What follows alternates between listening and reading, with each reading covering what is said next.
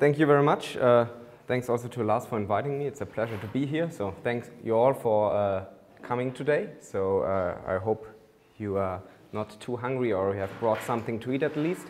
Um, yeah, so maybe a little bit to add to my background, uh, in addition to what uh, Tom said, everything was of course correct. Um, maybe the, the, the, interesting path I took somewhere after my PhD was that I started out at a, quite large uh, investment company, Union Investment, uh, which are the asset manager of the uh, Raiffeisenbanken in Germany, so around 300 billion AUM.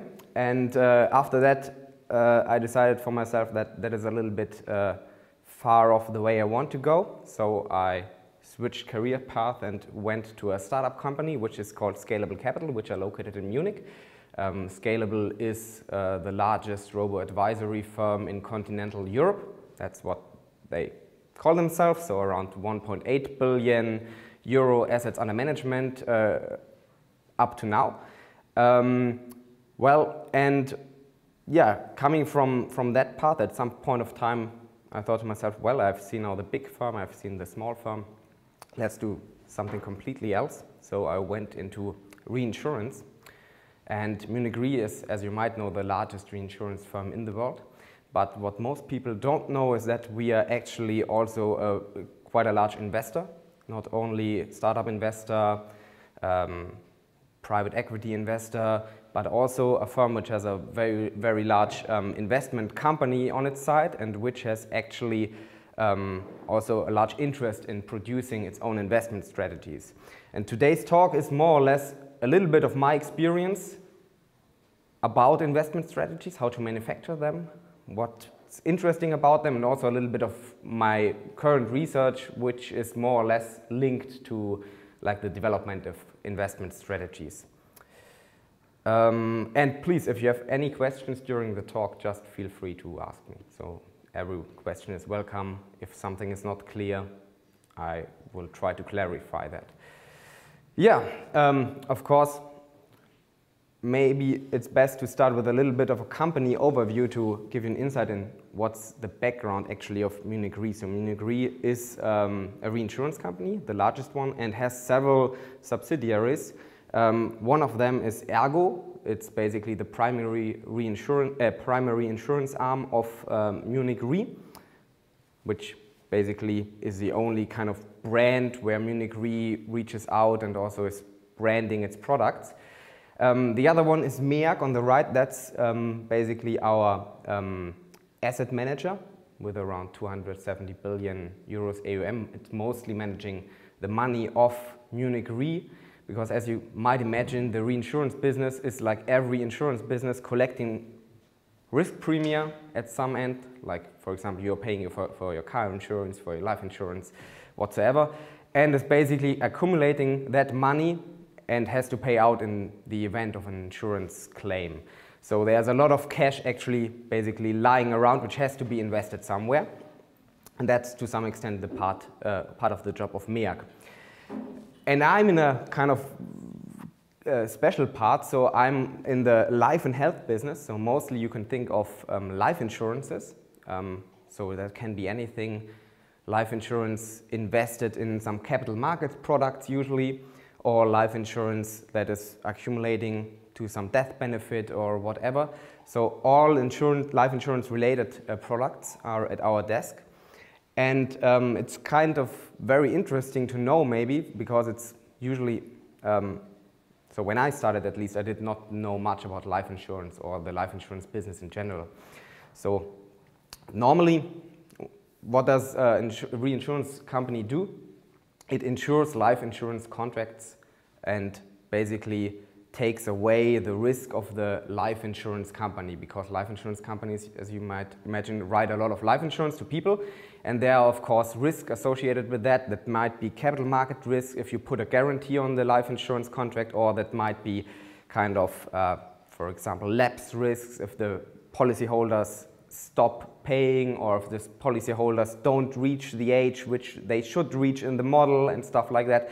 So there are a lot of different risks associated with that, and that's where we come in. We basically structure a complete package of products, so to say. So we are um, basically insuring these additional risks. Um, and for that, we have actually a team of more than 100 um, people now from different backgrounds. So I would be probably somewhere, somewhere between here. Our desk is partly traders, partly capital markets experts. We got some quants, modeling quants who do all the derivatives modeling stuff. And that puts us in a unique position because we are actually an insurance company or reinsurance company which has an active trading desk. So we are trading and hedging our own derivatives, which makes it interesting from the kind of products we can provide and also very competitive from the products we can provide. Because um, I think before 2003 or something, there were a lot of other players in the market. You have also AXA in the market, you got um, Swiss Re, for example. And the thing they did, they sold a life insurance linked to market risk somehow, and uh, they didn't hedge their risk. And after the, the, so even before the big financial crisis, but after the dot-com bubble, that kind of uh, went a little bit south ways. So uh, it didn't work out for them as they intended. And from that point on, basically the only, I would say, largest or the largest player on the market was uh, Munich Re and some other reinsurance firms, plus a lot of banks.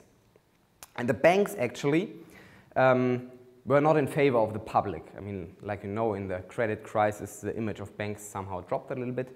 Um, so they had this thing against them, and that was actually where Munich Re saw the opportunity and stepped up and uh, really um, increased the headcount, increase the uh, global perspective of these products, and kind of build a team which now, since 2005, um, is active in this market.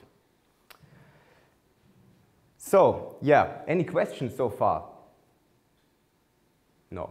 All right, so I hope uh, that was kind of clear what we, what we do. So what we do, maybe to put it in a few words, is like kind of like here we manufacture and package, hedge and reinsure a complete package of life insurances products or life insurance linked products, um, where we also take uh, biometric risks plus market risks on our side.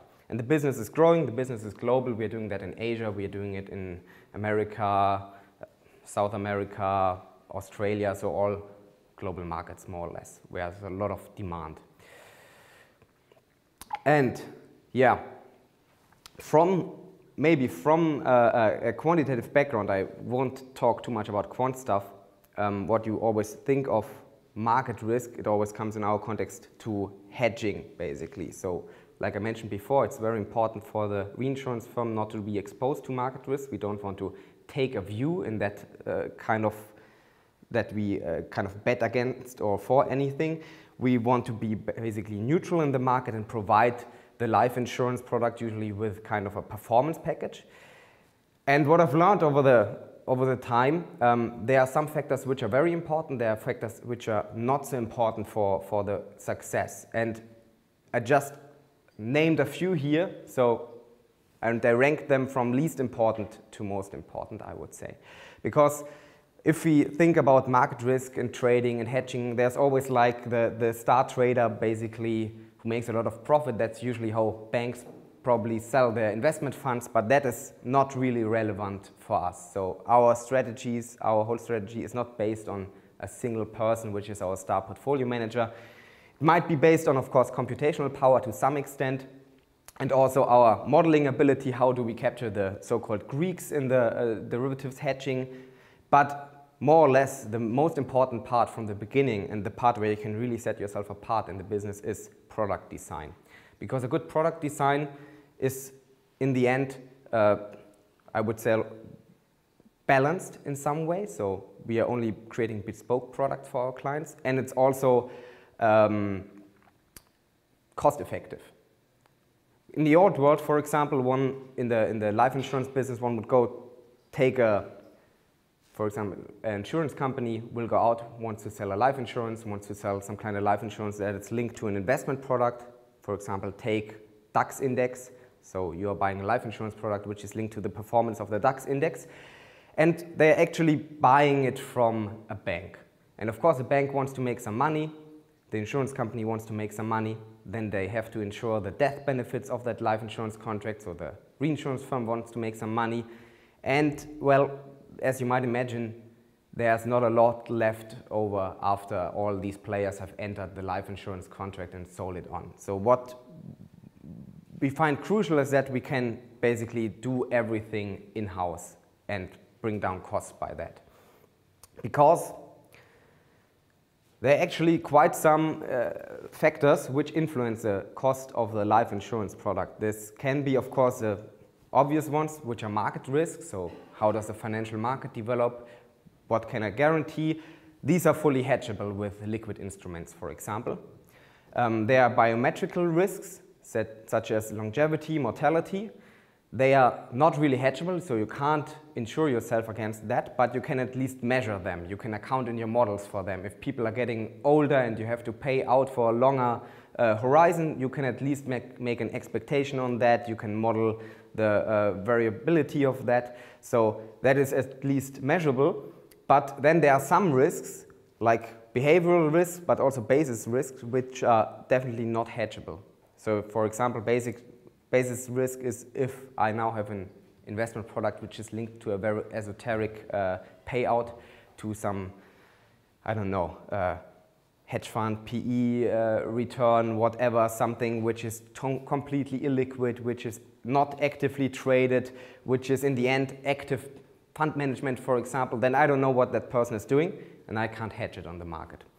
the same goes for policyholder risk. That is basically the whole behavior of how do people act, not only on the investment side, but also on, on the contract side. So there's a huge, some people are kind of, uh, yeah, redeeming their contracts very early, stop paying in money, they switch their funds often, um, they change the maturity, so everything basically client related, which actually destroys your assumptions in the whole structuring and modeling perspective. And these are some of the risks we are actually confronted with in the structuring part. I'm more on the market risk side and also on the basis risk side. So basically the goal for me is to make an investment product which is on the one hand liquid and hedgeable, but on the other hand also guarantees some performance or brings in some performance on the market and which is attractive to the client. And my colleagues from the structuring team, they are dealing with policyholder and behavioral risk and biometrical risk, I would say.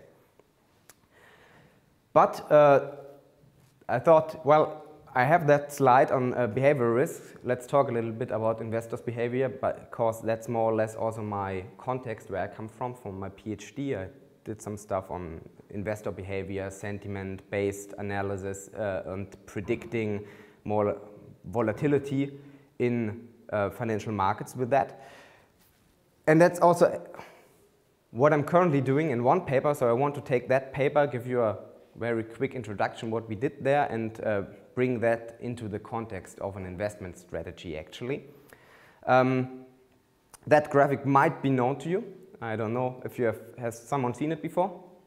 Something like that? Behavioral finance, uh, all the investor biases are, are mentioned here. So if you, if you look over here, if you work for a long time in investment management, then one of the nicest things that you get every morning is confabulation. That is when uh, bankers tell you a story about uh, what moved the market yesterday or might move it today. That is basically they are imagining some uh, story behind their, that explains the rationale. Um, there are also some other nice things uh, over here. Um, let me check. Yeah, confirmation bias. Every time you basically something, for example, the market moved in the direction which you predicted, even if it was pure coincidence, uh, that is a good argument that confirms your theory about the market. And of course, we tend to overinterpret the times or yeah, the times the market moved in our favor when we predicted it. Um, I, am happy to share that. Also, I think it's available in a little bit better um, quality. I don't know what the IKEA effect is over there. That is something I have not heard about, but yeah, some of them are at least uh, well known. So this is joint work um, with um, my brother actually, if you're wondering about the name, Sebastian Heiden, and a colleague of mine, Moritz Siebert. Um, and what we actually did, or how did we come to that research, so that was not kind of born out of nowhere, I would say. Um, when I was still working um, in investment management at a large, large asset manager, um, we stumbled about a public data set of um, investor positioning. So there was a data set out there from retail investors which are trading on a retail trading platform and the data set was actually quite short. And I looked at that platform and found out that I could easily um, scrape the data daily and intraday. Um, so I programmed a little tool that did run all the time and like scraped away the data from the website. So I found out how people are positioned on the website. And the first idea, of course, was to use that data to find uh, a magic investment strategy or whatsoever to make money, of course, in that moment. Um, so I'm still here, didn't work out. But uh, it, at least it was uh, interesting from another point of view um, because as you might know, there's a whole level of behavioral studies, behavioral finance studies, Kahneman, Tversky, going back to the not even 80s, even 70s. And they mostly have either very short time horizon or they have individual account data for brokers, trading firms, and whatsoever, and study the behavior of, of these traders. And what they mostly find in that data historically is that individual investors perform uh, very badly. Actually, there's even one study which finds that the best trades in US stock market are placed in the tax-exempt um, um, accounts of um, traders' children. So, I don't know. You can, you can take that or believe it or who knows. But why do they actually underperform? So there are some effects like we saw on the previous slide. Um, and the most well-known, I would say, is the disposition effect, which is the tendency to sell winners very early and hold losers for too long.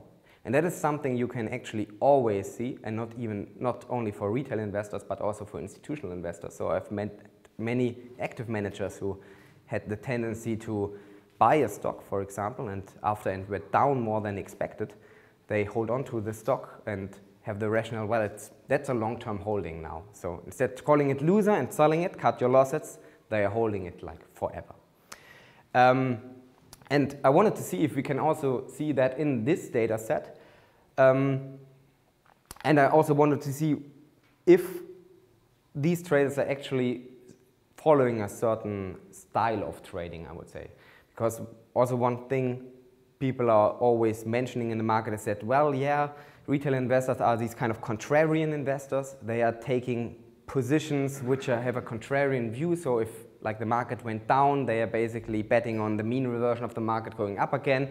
While on the other hand, institutional investors are mostly momentum traders. So I don't, I don't know. So I wanted just to check if that is actually true.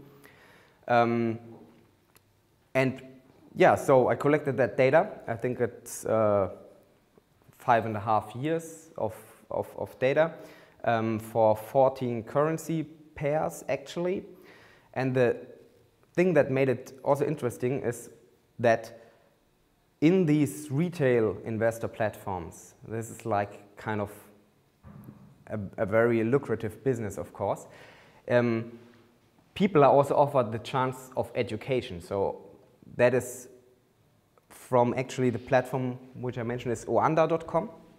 Um, and the interesting thing here is they also have a kind of a investor education center. They are providing investor guidelines, like telling people don't trade like that, trade like this, and they're actually offering learning, so the content is really good.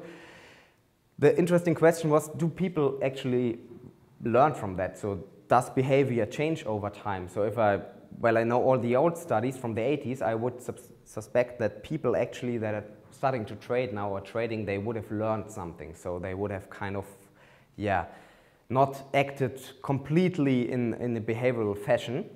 Um, but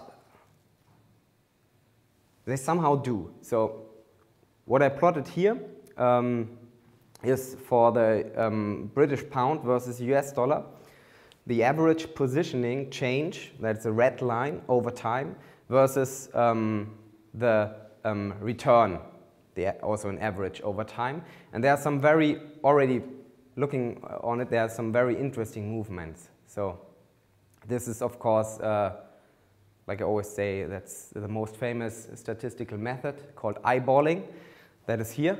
Um, can already see if like positioning or price increases or positive returns, you've got a positive um, price change, investors are actually decreasing their position. So they are actually um, either taking profits or they are actually betting against the currency. And based on these graphics, I was like, okay, can that really be true? Um, what can we find out uh, from this data and can it actually also be used somehow in the investing context? And what I will show you is rather the, the what can you find out and we will leave out the investing context because that did apparently not work out.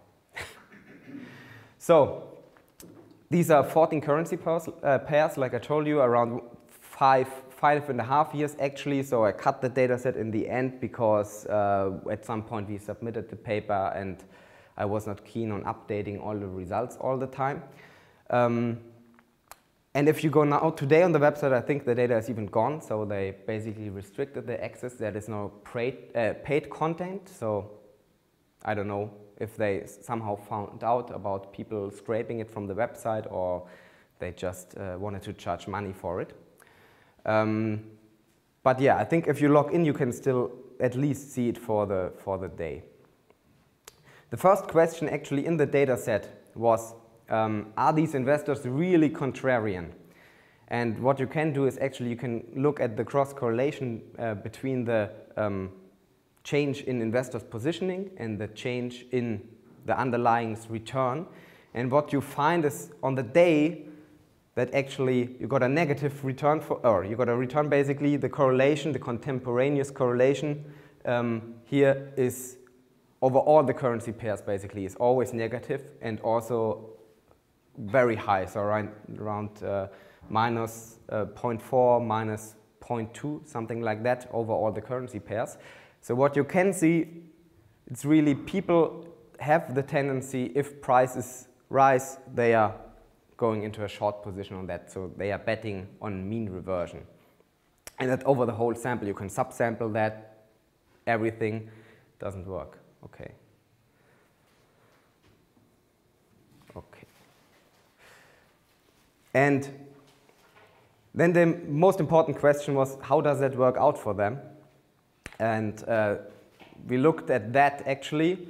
Um, and what we did do, we built a strategy that's a red line, the cumulative return from a strategy mimicking the investor's behavior. So every time uh, we look at what is the average position of the investor in the market, we take the position in the underlying, make an equally weighted portfolio out of that and look at the performance. And as you can see, that is kind of a very straight line going down.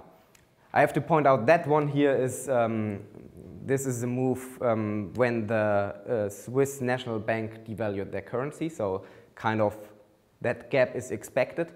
That is not a gap in the data, but I left it in there because it really doesn't make a difference. You can take it out uh, and you have a slightly better return, but it's still very bad compared to a strategy where you simply invest your money equally in the currencies and hold them and roll them overnight. So doesn't look so good for them. Um, that is kind of also what we more or less expected. Um, but now the question was, does it really come from the investors being contrarian or is it kind of you can also have other losses. You can have always like bad luck maybe, or maybe they are in one currency, they are maybe positioned differently than the other currency. And it turns out, no, they are basically, over all currencies, they're performing equally bad. So these investors really lose a lot of money. And in the process of research, actually, there was also one story which I found very interesting. I haven't, brought it uh, with me today because I didn't find it on Bloomberg, I can remember. It was a, um, another trading company um, in the US which offered stock retail trading. And what they actually did, they thought to them, themselves, well, retail investors are always underperforming. Let's just do the following. We are offering a retail trading platform. And in that retail trading platform, we have a real account and we got a paper account. So real trading versus paper trading. And they had a little fine print in the contract that actually they don't have to move you from paper trading to real trading. They can just keep you on the paper trading account. And since investors are losing money all the time, they will just they will just take the other side of the trade, basically on their account in the paper trading. And if you outperform, they give you the money, and otherwise, they will just take your money. And there was a big scandal because actually, kind of that was seen as, uh, well, kind of cheating in the market, despite being in the contract.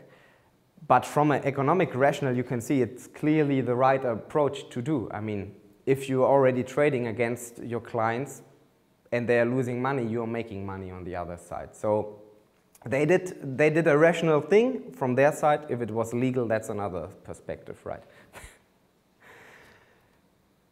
so the other question we wanted to look at is why do they actually underperform? And uh, I knew about that disposition effect and what can you actually do to look at that? You can actually split the performance in positioning, long or short positioning, and you can actually count if someone realizes a gain or a loss on the investment position. So you can see if, if a client enters a position and goes out of the position, it was a gain or it was a loss. And you can actually count how many times in between he had the opportunity to sell with a gain or a loss. So basically you can see, okay, did he really take, take the win or take the loss? And the interesting thing here is that um, we found signs of this so-called disposition effect. So people are um, very reluctant to actually realize losses. So they realize gains for the long positions in 18.4% of the cases, and only in 6.7% of the cases they realize the losses. But on the short side, so they can go long or short, it's even more extreme. Um, there you have basically uh, the other way, they realize 8.8% of the gains, but 35% of the losses. So that was actually something which was new and has not been observed many times before because mostly normal retail trading, people can't, can't uh, short uh, assets. Normal trading is usually long-only trading, so you're buying the stock, you can sell the stock, but you can't kind of also short the stock. That's the difference with the currency markets where you can actually do that and even apply leverage on these trades. Um, the other thing was how do they actually behave? Um, are they contrarian investors? So do they always bet against the market and that goes wrong? Or do they actually learn at some point? And the thing we did in the paper, um, which I only want to mention here, is we did a quantile regression. So we looked at how does basically the quantile of the return distribution, so if a very extreme positive or negative return, influence the subsequent positioning. And what we found, that's basically kind of the regression result, as to say, that in the short term you got, this is a regression coefficient, that over the whole quantile you basically have a negative regression coefficient. So on the short term, with a daily regressor, you got a negative impact, while on the long term, like on a monthly time frame, people are also trying to follow some long-term uh, return or price trends, which also doesn't go very well for them because they are actually realizing uh, the profits uh, not often enough. So that was kind of, I think, the first time someone looked at this with this uh, quantile regression approach. Mm, where you can also see that there's clearly a split somehow between different quantities with distribution. If you have a very, for example, very uh, extreme outlier, so in the, I think, 0.9 uh, return quantile, so a positive, large positive return, people are more likely actually to uh, enter a contrarian position. So uh, they really have that tendency to uh, go into the contrarian view, while on the other hand, on the long term, they kind of try to jump on the moving train and get the trend. Yeah, so that is actually a good, um, good point um, to, to jump into something else, because now after I've showed you what uh, are some biases or some problems with investor behavior, I uh, want to play a little game with you. So I hope everyone got a cell phone and you got internet access. Because I now want to, uh, want to test your uh, betting behavior a little bit. So This is called the Munich Re coin tossing game. Um, and it's basically a question, how do you make decisions under uncertainty or if you're challenged with an outcome which has a certain probability distribution.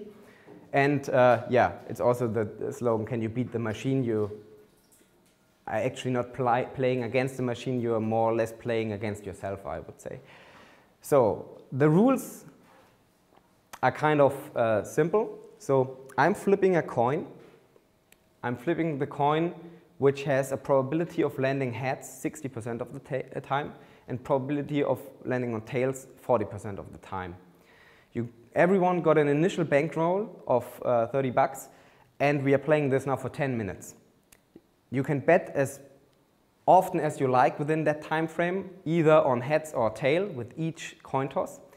You can bet all your bankroll or you can bet in a little bit less and you can uh, toss it as often as you like. Um, and you have to go to that website, enter a username, and after everyone is done, I will start the game. And if you have any questions, of course, uh, feel free.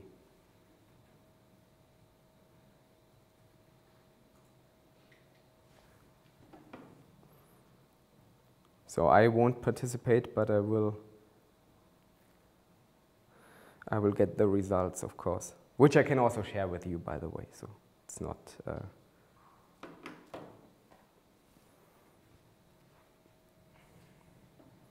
Okay, you can enter any name you like, um, doesn't matter.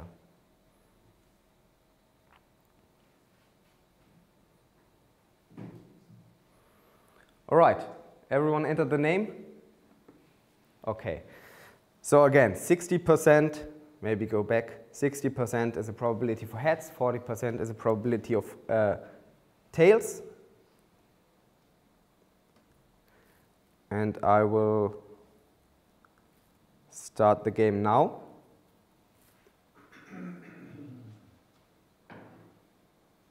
Okay, and you should be able now to uh, press play the game. Does it work? Okay. The question is, what do I win? Like if I get the real, uh, the right side, the side right, what do I win? Uh, you are, ah, yeah, you are doubling your, uh, um, your money you bet, basically, yeah.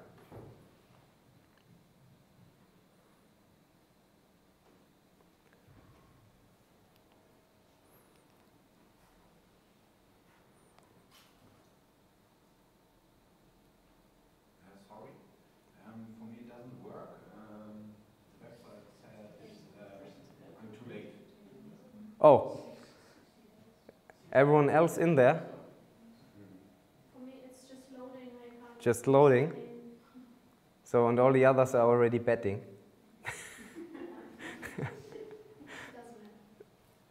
it's not doubling, right? I mean, it's just paying the amount back and you, you enter it and then you get... Yeah, if you bet one euro, you, you should get back your entry plus the one euro.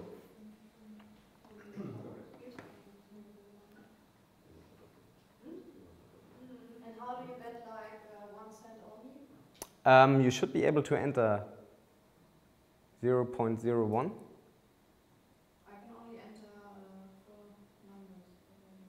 Okay, that's strange.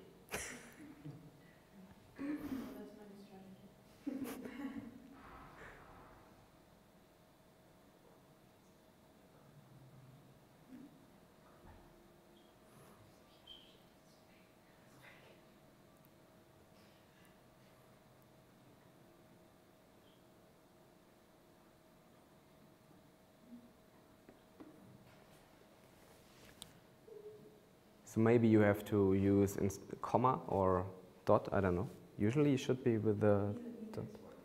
It's not working? Ah, okay. Yeah.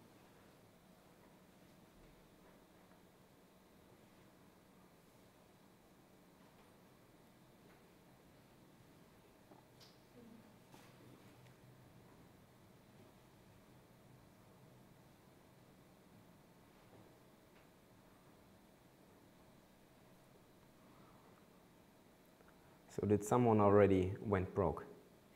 No? Okay.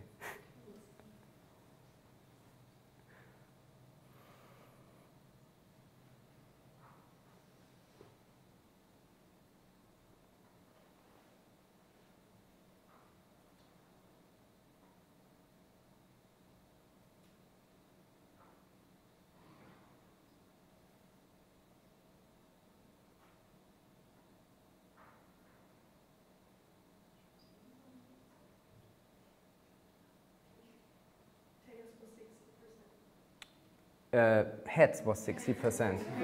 so uh, maybe I should uh, go back to that page, right? Sorry.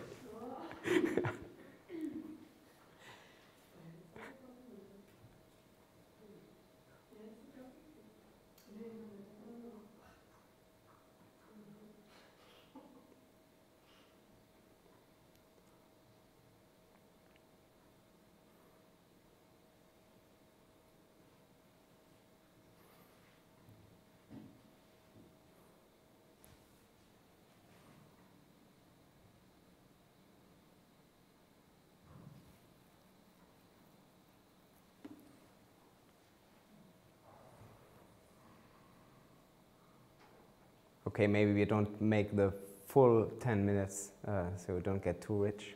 Uh, so maybe we make one more minute and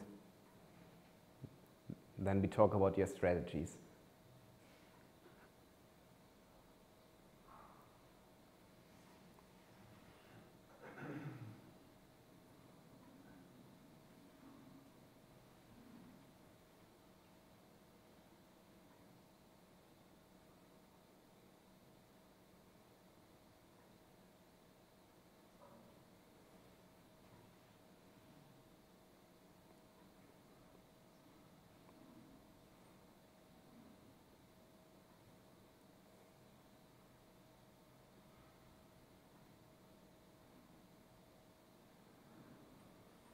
Right, so 10 seconds.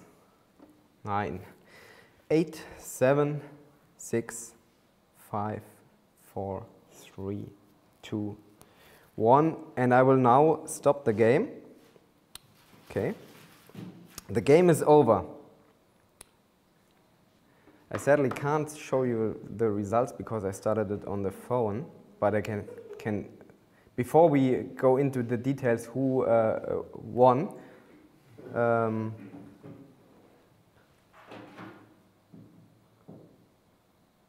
let's see. Show the results. I mean, Yeah. did my best strategy. I will, I will, I will re- so let's talk about strategies first. So what was your strategy? So I started with uh, five dollars, and then I just went for heads all the time. So if I accumulated money of- after time, so I doubled the amount. So I went for ten, and then I continued with that. Then I went up to fifty at some point. So, yeah, Okay. and Yeah. this. So, I mean, the, the expected value of uh, heads was, was higher, right? So I, I just went for heads all the time. So did someone switch in between because he didn't believe me? I switched when I found out that the probability. Okay, that doesn't count. But I mean, there often are people who don't believe me who will tell me like, no, no, no, you're lying. It can't be the case that heads is coming up 60% and then they switch back. Okay, very good. So you already you didn't switch. That is already good. Anyone anyone else want to share a strategy? So doubling in the winning case, yeah. I switched in between one, I don't know, three times uh, heads. After that, I switched to tails for one time and then go back to. uh, Okay. heads. So the the classic roulette player, if four times in a row there's black, you switch to red. Okay, that is another strategy where I can say no, that of course the draws are independent. So since you got independent draws, it always bet always on the on the heads is the rational thing, but then it's about uh, position sizing in the end. And uh, I will now see who performed best. Oh, Donald Trump is number one. who was who was Donald Trump? No one wants to be Donald Trump. $750 was the best performing balance, so it was not, not bad. Uh, number two, Tate, uh, 419.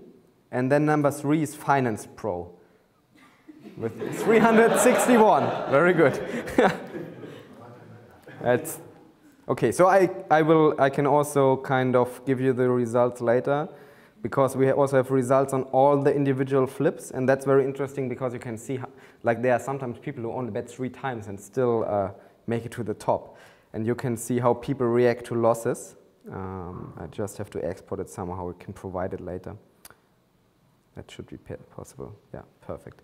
Um, so actually, there's also an optimal solution to that case. Uh, it's called uh, the Kelly formula, um, which is something which has made its way into finance mainstream in the last 10 years, I would say.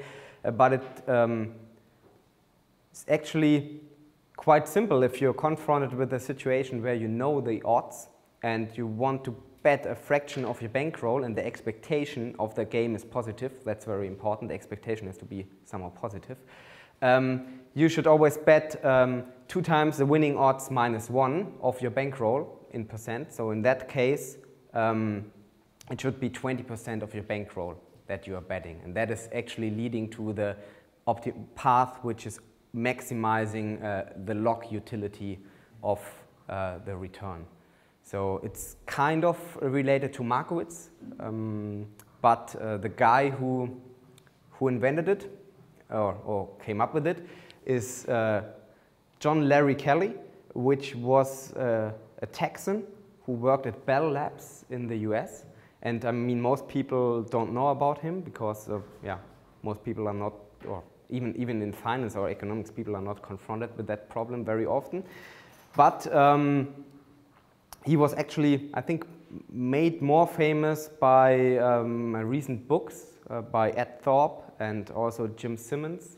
Jim Simons is the hedge fund manager of Renaissance Investment, the best performing hedge fund in the world, who is uh, raking in profits around 60 to 80 percent uh, return. So around, I, got, I think they have an average return annually about 35 percent after fees since the 80s. And uh, this guy actually worked together with some other researchers at Bell Labs, and Bell Labs was kind of an idea factory. So in the beginning, Bell Labs was a telephone company in, uh, in the US, and when it, so it, that was crucial to kind of get the smartest, smartest minds on board because the problems were mostly related to kind of how can I optimize the telephone uh, network, the telephone grid. Uh, that was kind of the information age at that time. And um, Kelly was one of the researchers there and also wrote that paper. And you as you can see, uh, that is 1965, so it's kind of old, I would say. And even though it's very old, it was, I would say, rediscovered like 10 years ago. People started with don't do Markowitz optimization, do Kelly optimization because it's different in some aspects. Um, and that is also one, one case of where you have something which is actually not that new, which is kind of coming back to the market. And why is that actually interesting for us? Not because we always know the odds and we can bet the bankroll, because that's usually not what you're doing. You usually don't know the odds of the game, but it shows that actually playing a game which is in your favor, if you know the odds, is still not easy. Because if you look at investors' behavior or betting behavior of people in the game, people will switch, people will reduce the size of their bet after recent losses and all that stuff. Even though if you do a lot of simulations here, and have like I put 1,000 participants um, which are using the optimal betting size, they will all have a positive drift in their performance. Some stronger than others because it's still a game of chance after it's only 100 coin flips. Um, but they are all performing well, but what's actually the problem for the people behind that, even if you are the best performing guy in there, and beware that is uh, the log bankroll here. So I use the magic uh, logarithm on this scale. If you take away the logarithm and look at the best performing guy, he actually made a couple of billion uh, due to coin flipping. it's very flat in the beginning because in the end it goes exponentially. Um, but the guy also loses 46% of his wealth within two coin flips. And that is something where you still have to keep the betting size, always bet 20%, always stick to the rule, don't change the rule. Do it because it's still maximizing your uh, long-term profit. But as you might imagine, if you uh, have been at 130 billion and then within two coin flips you are down to 70 billion, it's becoming harder and harder to actually stick with the rule. And that is something people are always finding uh, very, very hard, even if they are fully rule-based investors. And that's what we are actually doing. We are completely rule-based investors at Munich Re. So our funds always stick to a rule, no discretionary element. We are not taking any positions in there which shouldn't be in the system because, well, as I told you, it's very hard to beat the odds even if it's stacked in your favor. And with trading, it's even more difficult because you usually don't know the odds. You don't know what your payoff function is. You only know, statistically speaking, that you have a little, little advantage maybe. And um, that is actually one of the cases where you can see that decisions in the trading space should not be driven by emotions. And there are a ton of examples from people, even of that Renaissance uh, fund I mentioned earlier, Jim Simons, the founder, he was basically a professor in information technology. Um, he also at some points wanted to tweak the system a little bit. He had a fully automatic system. He wanted to put in some trades, do it discretionary, because at some point you always feel emotionally attached to, to your previous performance. And that's something uh, which should be better if you stick to the investment rules. So, any questions to the, uh, towards the game? No.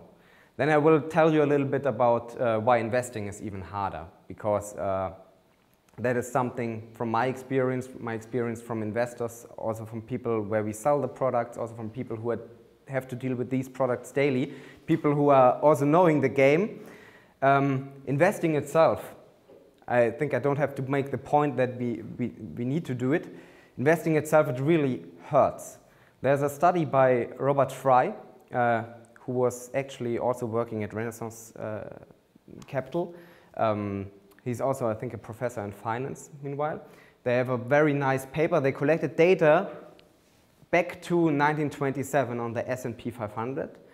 And they looked at the drawdowns of the S&P 500. As you can see, that is a classical drawdown chart. Basically, you have a drawdown of your capital to some point, and once you reach back to the zero line, you recovered your capital. And you can, on the one hand, see, of course, well, there are some large drawdowns. That is, of course, uh, the financial crisis 1929. So you're losing 85% of your capital if you enter uh, at a bad point. And it takes you even some time to come back, actually, to go back from that so-called underwater curve because your portfolio was underwater all that time. And as you can also see, crises are something that happen if you look at the time when that thing was in a drawdown, so 23.1% of the time, the S&P was in a drawdown of 20% or, or, worse. So if people start investing in stock markets, they usually think that thing goes up. But what they actually see on a day-to-day -day basis is, is, that they are constantly underperforming. They are constantly underwater, so their portfolio is always losing money. And that is a feeling uh, which you might imagine is not nice. If you look at your portfolio daily and it's down again, down again, down again, and then you will at some point just stop investing or change your investment strategy or become dissatisfied with the investing, um, which makes it very difficult from a point of view of sales, but also from a point of view of really keeping in the market, because that's the most important stuff. Be in there, be invested.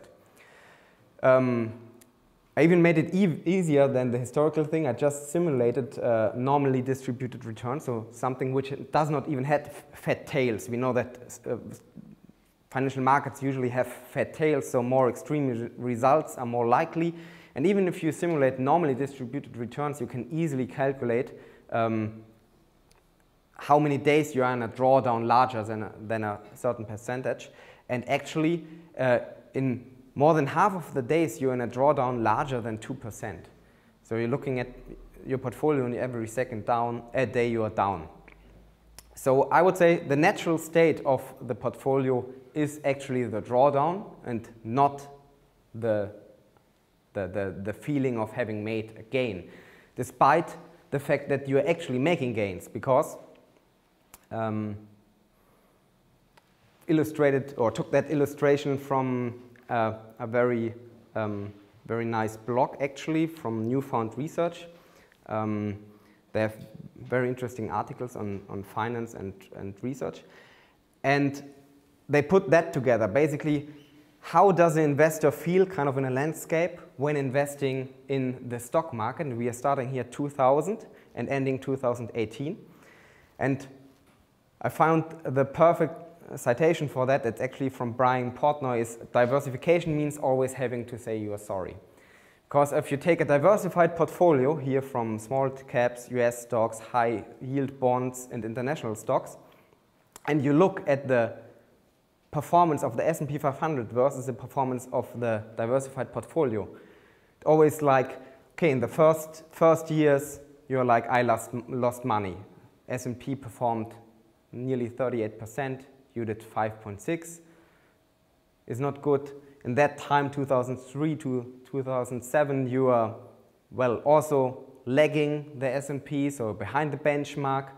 Next step, you're feeling uh, that should be, yeah, that's minus actually in the bracket, so that's minus. So you lost money, even though you lost less than the market, you lost money, so investors are not feeling great and then you're lagging again, you're losing again even more money than the benchmark. And in the end, if you add up the end results of an investment um, of $100,000, you are actually better off.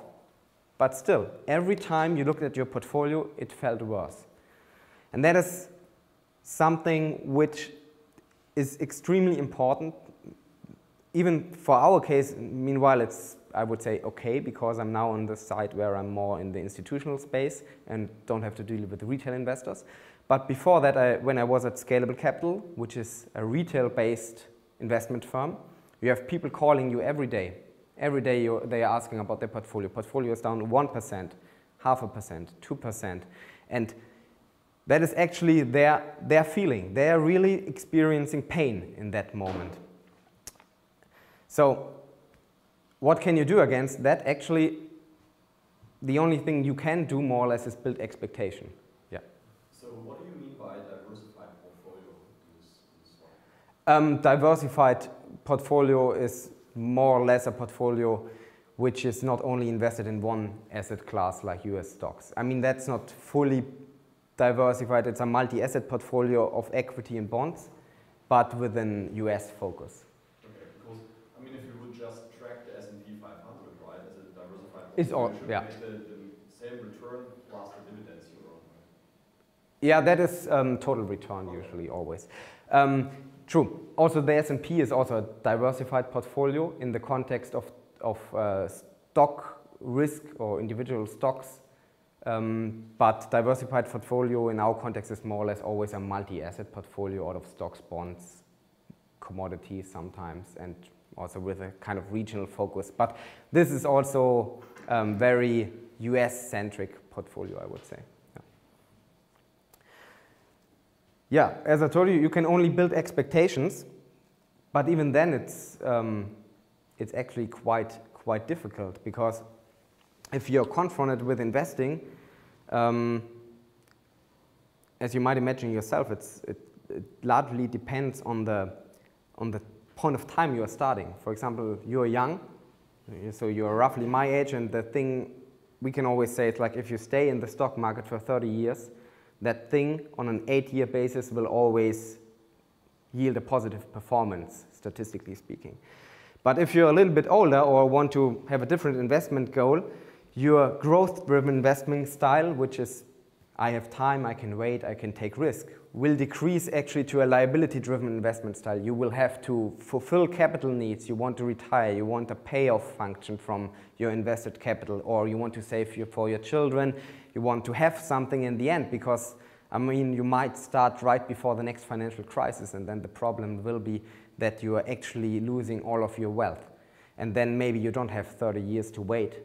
You only have two years, or three years, or four years. And in that case, your investment style becomes completely different. Also, your psychological background becomes completely different because you always feel the need to take money out of the portfolio.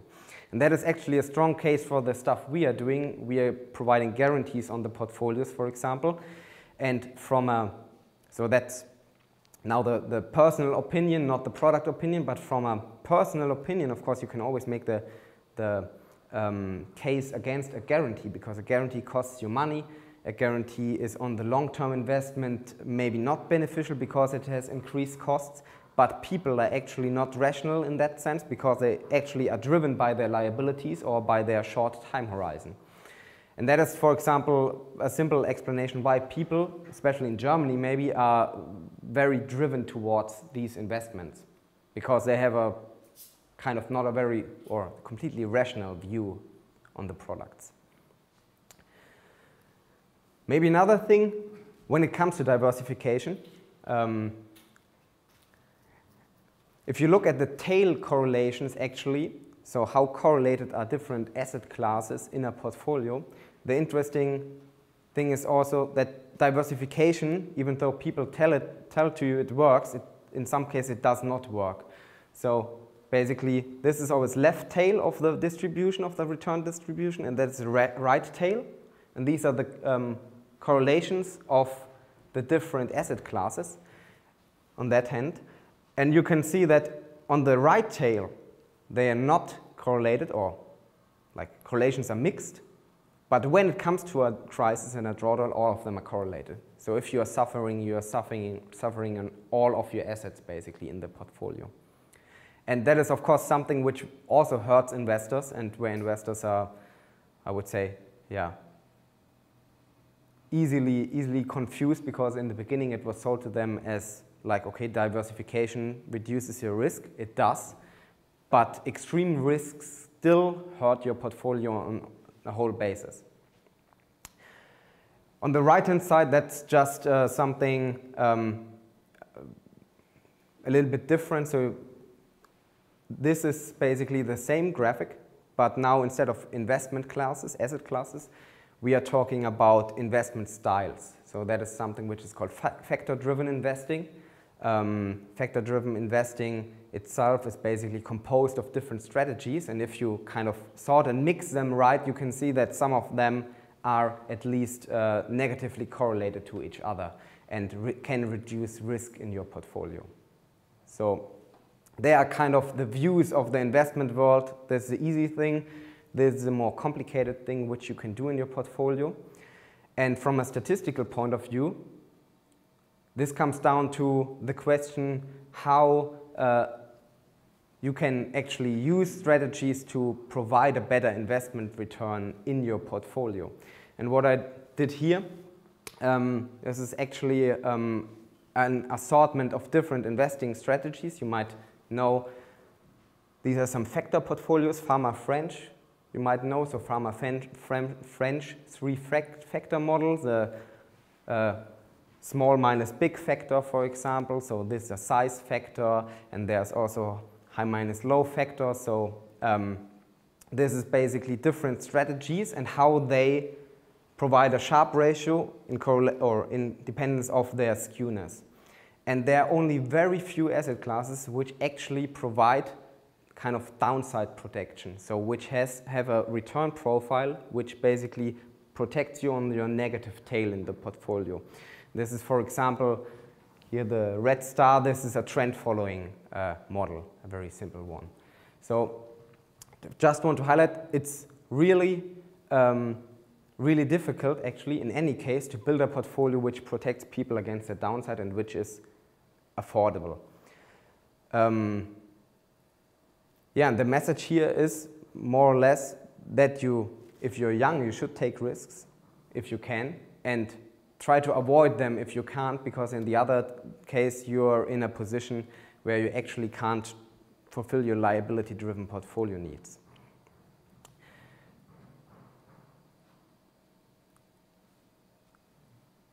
That is something which can be done like or what should be done with different strategies or which we are doing with different strategies. This can be kind of, um, like I mentioned, the trend following strategy where you, this is actually that graphic over there, where you shift your return distribution um, to the right, so you have actually positive skewness. And this can be achieved with other overlays, with different alternative strategies, with a direct tail risk hedging strategy. So it's kind of always the right mix for the client. And also in, um, in research, this has now more or less entered the, I would say, the game of research that there are, there are existing different strategies that might be useful in different market environments and which are sometimes also not effective in other market environments. And that is actually something we are looking at. So we are kind of taking building blocks of different strategies trying to combine them in a risk overlay way, so kind of controlling the investor's risk, where the main goal is to achieve a portfolio return distribution which suits the behavioral needs of the investor, which can be different depending on the age, depending on the income, depending on the outflows of money. And that is something where you, where at least I was kind of um, when I started in the business, I, I didn't know that. So I didn't know that it existed. I didn't, I didn't know that it was sold because what you usually get on the market is kind of a very standard solution, I would say. Yeah, any questions so far? So that is just kind of my experience from, from some of these strategies, from some of the ways you can put together um, different parts of strategies to form your desired investment outcome. Um, maybe just a few words about what in our mind is actually the guiding principle of the success because that is actually what we are doing. We are doing 100% rules-based strategies, so there's no discretionary element in that.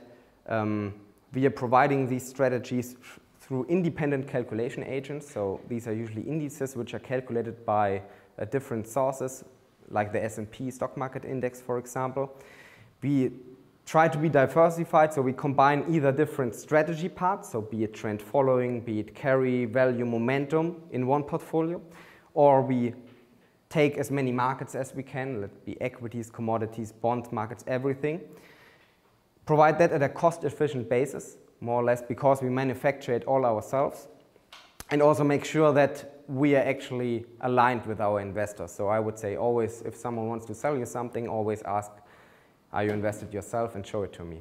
Because that's the most important investment if someone wants to, is not using his own product actually, then it's mostly because it's not worth it, I would say. Or he might have different exposure, but for example, for our case, uh, Munich Re itself, our pension system is investing in one of our uh, strategies. Uh, our internal uh, asset liability management is investing in our strategies. Um, so our interests as a product provider are also aligned with the interests of the investor itself. And maybe the most important part is patient and uh, discipline. Um, should always focus on your long-term goals and don't get too confused by short-term investment results, emotions, and like in the coin flipping game, short-term losses or unclear strategy, uh, advisors, whatever. So that is basically the point. Okay, if you want, I can also talk a little bit about uh, diversified trend following. I have some slides on that, but uh, we can also just uh, enter the discussion. So whatever you feel is best.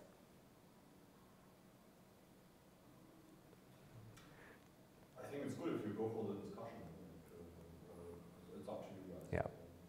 So that I don't give you a too specialized view because like no, like the investment strategies, of course, that's something I'm doing in a day-to-day -day business, but um, I'm also interested in your views and what are you doing, uh, how might there be some overlap, uh, what's your focus, or I can tell you something about other experiences I got.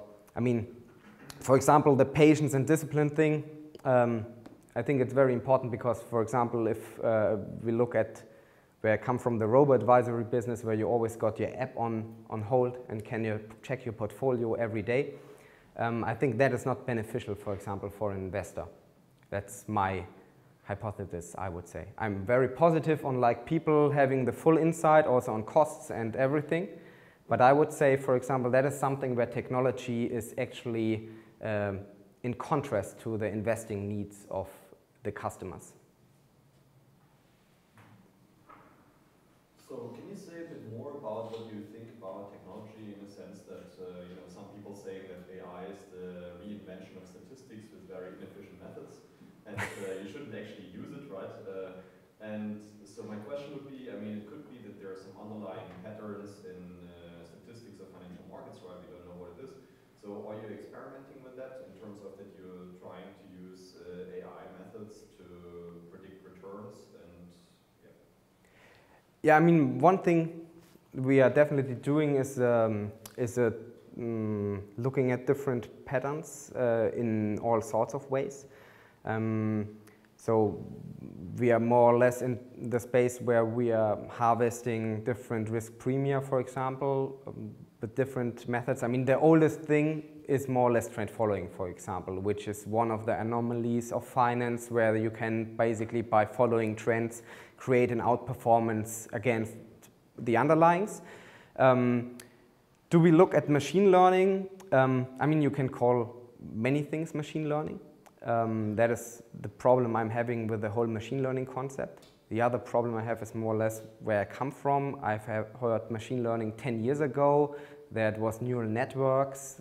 Then it was like uh, I don't know, deep learning and uh, deep portfolio optimization and deep whatever. And uh, the only thing I saw so far that mm, it, it more or less, I think, uh, has or has exited the phase of being overhyped at the moment, at least. So it's when I speak to institutional investors, it's more in a in a phase now where it's actually they look at that with a critical view and they um, use it maybe for data filtering, I would say, or also kind of detecting some patterns.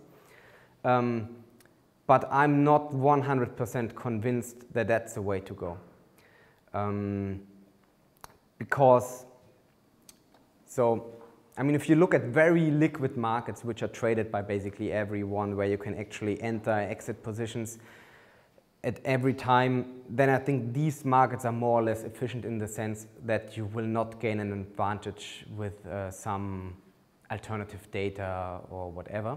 Um, if you look at niche markets, that's a completely different story.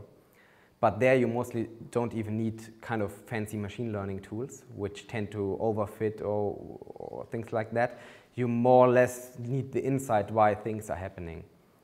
For example, to give you a very, very simple example, there's something kind of um, in the dividend futures markets, for example, I've read some papers about mispricing and pricing anomalies, why are dividend futures cheaper than they should be, for example. And there's a very easy explanation for that. The explanation is that investment banks have to get rid of the dividends they have there in, in their derivatives and have to basically sell divid dividend futures on the Euro Stoxx, for example. That thing is 20 years old already. And from, from that point of view, I would always say there are anomalies, but they're more or less found not by machines but by people. But maybe I also haven't found the, the magic machine learning algorithm, so I don't know. But also the people I, who are more or less in the space of the machine learning, um, I haven't seen anyone doing anything fancy that brings you some advantage, actually. So in most cases, it, it comes down to, to having a very robust and very efficient systematic process behind the strategy and leveraging some edge you have from a different background, I would say. And the view that you can go out there and get the smartest algorithm and develop the world model, um, I'm kind of skeptical. But, and, and, and also, I would say people have now taken a different route. Most people are now selling machine learning. So it's like with the gold digging in, uh, in America, when that was prominent, the Germans became not rich because they found so much gold, because but because they uh, actually sold the equipment, yeah, the shovels. So you should probably found a machine learning company and advise people. I think that's a better way. Sell the hardware. Yeah, sell the hardware. But I'm, I'm also easily convinced if someone comes with something, um, it's kind of definitely an interesting field. And who knows? That's the whole point of research. Mostly you don't know, and in the end, you find something, and then maybe it works, maybe not.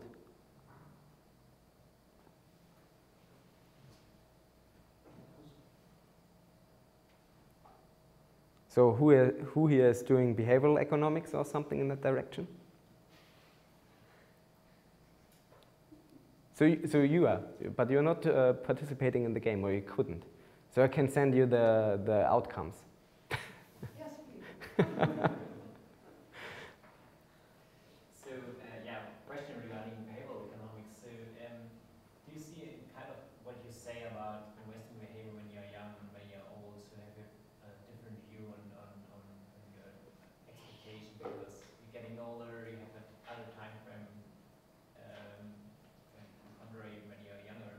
So, do you think that is kind of hyperbolic discounting behind that, or is it something else, or? I mean, If you, if you take data to theory, what would you say? It's a good question, right? Uh, so I haven't uh, actually I haven't looked in the data myself, so I don't have a database discriminating between ages and kind of looking uh, into if the really reality is in line with expectations there.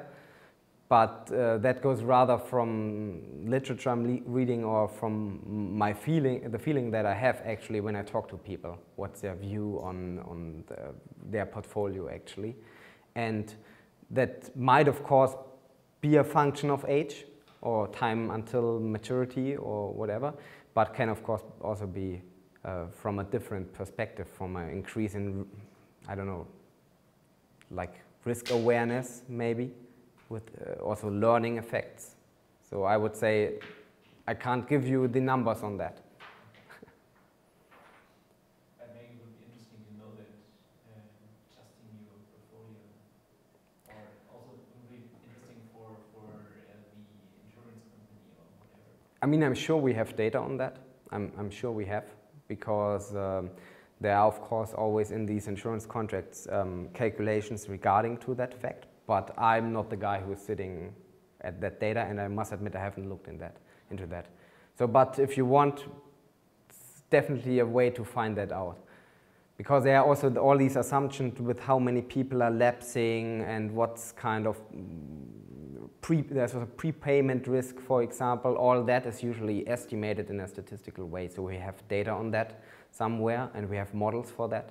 Um, but that's uh, less on the market side and more on the um, yeah, on the structuring side or on the actuary side. But there is definitely uh, data on that. So only I've seen, I, I can remember one yeah, there are some, some slides or some graphics I can remember where there's at- least the correlation between, for example, education and lapse rate. So usually more educated people tend to also pay their insurance contract until the end. Because usually in that insurance contracts you're paying a lot of money in the beginning. And so it does not really make sense that you stop paying if you already paid all the, all the costs and you should just carry that until the end actually and there's some kind of discrimination, for example, um, related to education at least. And I, there must also be a difference between age. Might even have the slide I can show you later, but I'm not sure what's on there. There may be, I don't know, uh, talking against uh, my own hypothesis. Who knows?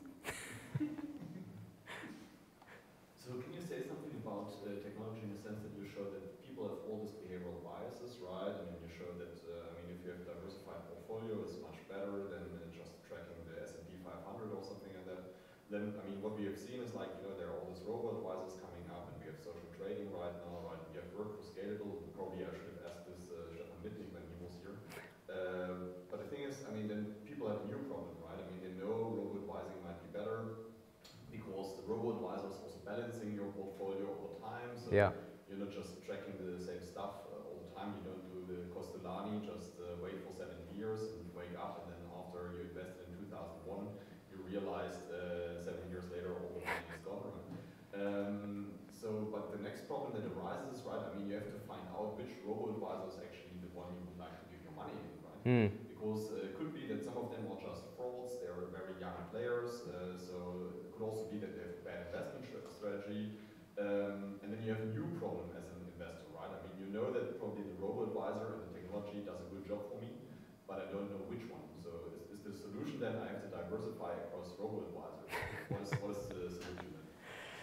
Yeah, um, maybe uh, to that point, I also got one slide at least, so that is some behavioral finance stuff. Uh, we also got a robot advisor. So by the way, so good question, yeah.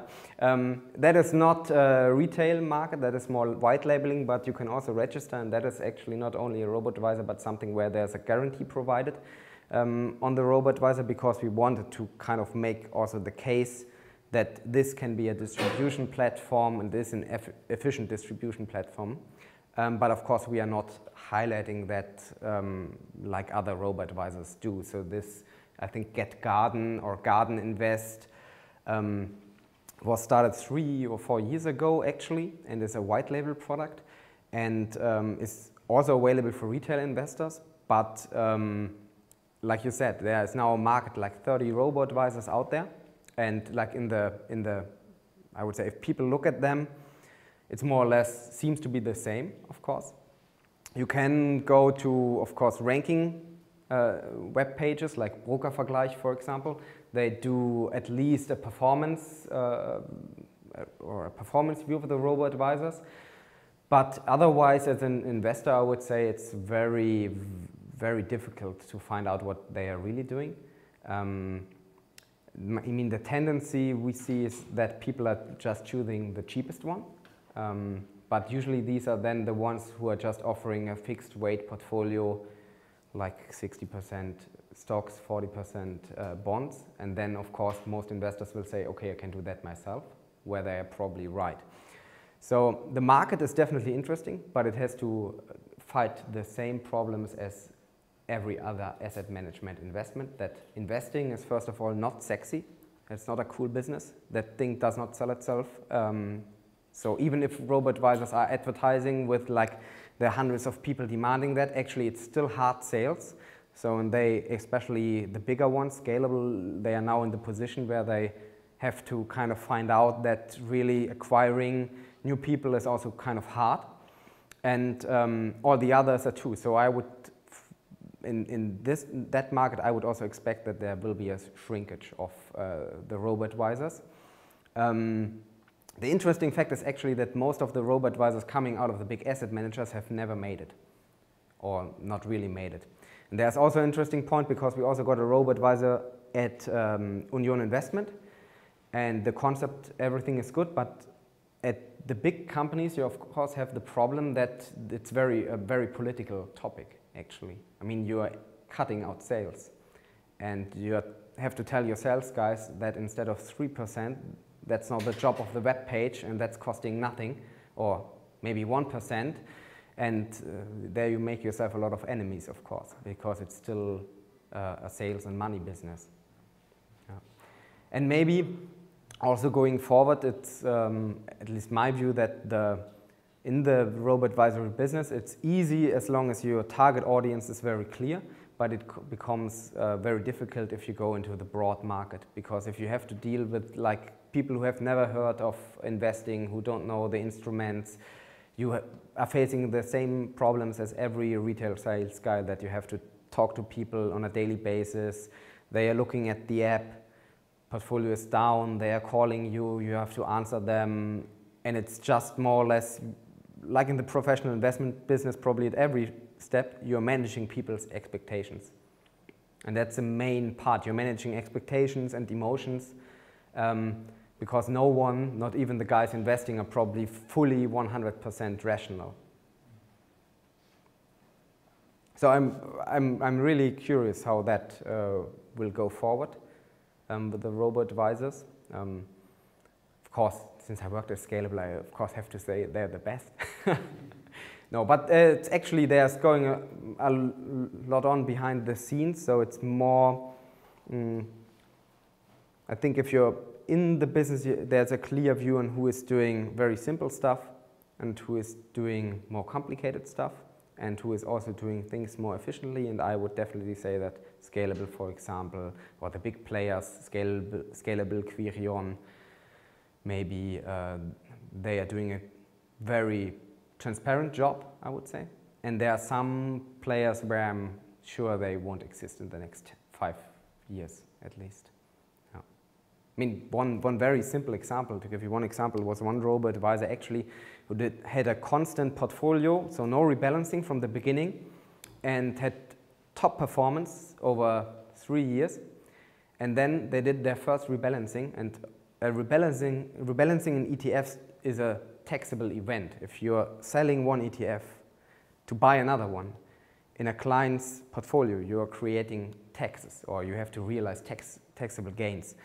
And the problem then was that their performance dropped basically from plus, let's say 10% to minus 7% because they had to realize all the taxes from three years ago.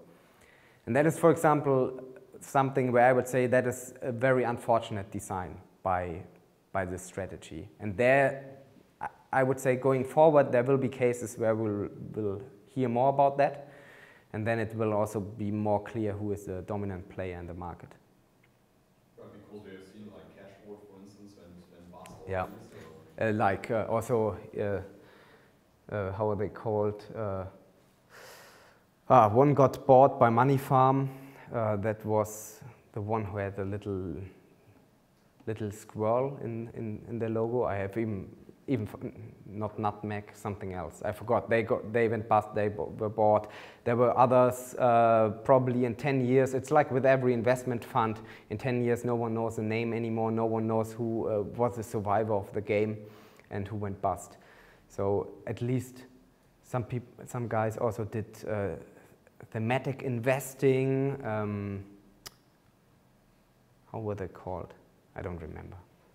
So I mean, the, the, the amount of money you have to have under management is actually not that large, but you also need a lot of resources. Um, there are like normal, normally family offices and funds, they are managing a few billion euros with five to 10 people.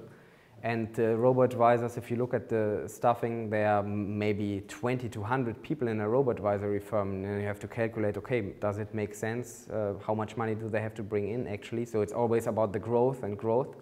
But um, I don't know if, if, that's really sustainable at some point. So the biggest ones, yeah, the smaller ones, definitely not.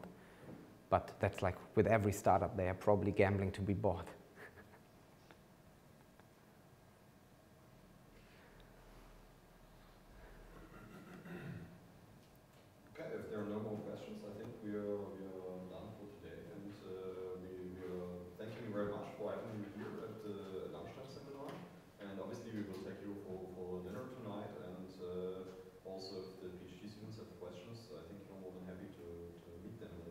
Yeah, definitely. So I'm also very interested, interested in what's going on actually in your research and uh, maybe you can tell me something about that. And also I'm always flexible in my opinions.